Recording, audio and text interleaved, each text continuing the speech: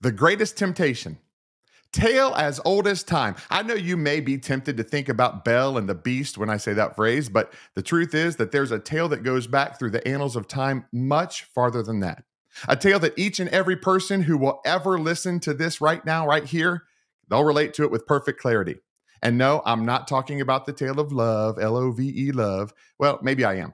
Yeah, unfortunately, I definitely am talking about love, but not the kind of love that Belle and the Beast fell into over a bowl of soup and a snowball fight. The kind of love I'm talking about is one that many people never even recognize. They're madly in love right now as I'm speaking, and they don't have a clue that it's an unhealthy love affair that was never meant to be. A forbidden love affair, one which you dream about every day of your life, one where lust becomes accepted and you can't wait to get your hands wrapped around the thing that you desire so much. Some of you, your minds are wandering way too much right now. Get your minds out of the gutter. What's wrong with y'all? Come on. This is a Christian Christian podcast here. I'm not talking about some harlequin love affair with eight different synonyms for body parts that I can't even really talk about in a public forum like this. No, I'm talking about your love affair with food. You know you have one. Trust me, I understand this lustful desire all too well greasy pizza from that hole in the wall, a plate of cheese coneys from Skyline Chili, a massive king size slab of Montgomery Inn ribs. And if you don't live near Cincinnati, y'all don't know nothing about this. A huge Cinnabon with extra icing oozing off the sides, and for me, a mount, a, a, a massive ice cold Mountain Dew on a hot summer day. Trust me, this guy could go on and on about the places that this love affair has taken me over the years. Hmm. I have some stories to tell, and maybe I'll get to some of those on today's podcast. But the point is that we can all relate to what I'm talking about. Food has gotten each of us into a bad place more times than we, we may want to admit. And why do I relate this uh, as the tale as old as time? Well, because that's exactly what it is. I've called it the greatest temptation here today for a distinct reason. Because the temptation that food brings into our life has been part of the history of man literally from the very beginning.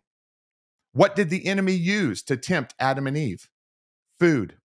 It was the very first thing he used to pull them away from a close, intimate relationship with God. He wanted them to not listen to and heed the voice of the Lord. So he got them over into satisfying their flesh through their stomach and their taste buds. It may seem trivial uh, to you right now. It may seem like a very trivial thing, actually, but I don't think it's any coincidence whatsoever. There's something that happens in our life when we choose food over God's voice. In Philippians 3:19, Paul points out to us that our belly can become the God in our life. He says about those people that their glory is in their shame, that they set their mind on earthly things and their end is destruction. In fact, in verse 18, Paul identifies those people as enemies of the cross of Christ. Now, I know those are tough words to hear. I really get it. After all, I share the good news gospel around here. I want nothing more than for you to walk out your full potential in Christ. But the truth is, however, that you cannot realize God's best in your life if you don't listen to Him and heed His direction. And you can't do that if your belly is your God and all you do is listen to it talking to you all day. Trust me, food isn't all bad. In fact, God specifically commanded the children of Israel to celebrate His goodness to them and be joyful in life. These celebrations revolved around feasts you got that right. A lot of food, but it's vital to understand that there's a time to feast and a time to abstain. Hearing from the Lord and obeying his voice is key to understanding the difference. Now, there are all kinds of examples for us to see in the Bible of how fasting can help us. Moses fasted 40 days before receiving the 10 commandments. David fasted as he mourned his child's illness.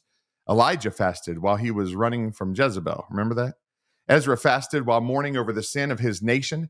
Esther fasted for her countrymen who were in trouble. Daniel fasted to hear from God. King Darius fasted for Daniel's safety while he was in the lion's den. In the New Testament, Paul fasted right after his conversion in Acts 9, and the church elders at Antioch, they fasted for direction. See, fasting is all throughout the Bible, New and Old Testaments. Do you not want to see another piece of the puzzle here? Satan tempted Adam and Eve with food. It's his greatest weapon of temptation that he could have ever used. Around 4,000 years later, Jesus comes on the scene, and he's called the last Adam. And at the very beginning of his ministry, Satan tempted him. and guess what? What was the very first weapon? Food. He tempted Jesus to turn stones into bread. And his tricks literally never change. He's tempting you and I with food today and every day. He wants us to get away from hearing the voice of the Lord in our lives. So the answer for us is to answer the temptation the right way, to answer it how Jesus did. And how was that? With the word. That's right. Satan tried to get Jesus away from hearing God's voice. So Jesus answered him with the very word of God that Satan was trying to stop him from heeding. He did so to show him that his tactics had met their match. It worked exactly like it was designed to work too. God's word has always been meant to lead, guide, direct, and protect us. And you know what? It still does all of those things today. On today's podcast, we're going to talk about a lot of these things and the benefits of fasting, but we're also going to talk about the sly trick that Satan has used to turn the beautiful weapon, weapon of fasting into a selfish carnal ritual. You see, many people today think that they're fasting and they're really they're just dieting. They put a spiritual name on it, but they're only going through the process so that they will lose those extra pounds and get ready for that summer body. The beauty of fasting gets lost on so many people. They're spiritualizing a diet, and churches take full advantage of the New Year's resolutions that are literally rampant right about now. And not only that, but they found a good fast that they could market easily. One Daniel used a long time ago. They've taken it and told people, they just said, yeah, you follow that one. Oh, well, to each his own. Personally, my preference is to hear from the Lord every day. When I listen to his voice and live my life each day as he is leading, I don't have to go on a 21 day spiritual diet every January. I can actually operate in self control and train myself to hear God's voice in July and August too. What a concept, huh? Listen, hopefully, I'm not coming across as harsh here. I know many of you might be on a fast right now, and I applaud you for that. Your motives are pure and your heart is undoubtedly in the right place. But I've found that it's for a lack of knowledge that we perish. Don't do something out of habit or because of peer pressure, even if the peer pressure is coming from your church announcement slides on Sunday morning. When you understand the power behind living a fasted life, everything will begin to make a little more sense. You won't be tempted with that forbidden love affair with the cinnamon roll anymore. You can eat without fear or guilt you can actually eat in faith. And we'll talk about that today. See, when you step over into that place, you will hear God's voice more clearly than ever before and have the confidence to work uh, and walk out His plan for your life without any sense of guilt, fear, or condemnation. You'll live life how Adam and Eve were designed to live it in the beginning. You'll live it how Jesus actually did live every day of his life. And you'll live it how your Father wants you to live today. And that, my friends, is good news. Thank you so much for watching our clip today. If you enjoyed what you heard, please consider subscribing to our YouTube channel so you can be notified when new material comes out. And if you'd like to watch the entire episode of this podcast, you can click up here and do so. Thank you so much. And remember, Jesus is Lord, and you are complete in Him.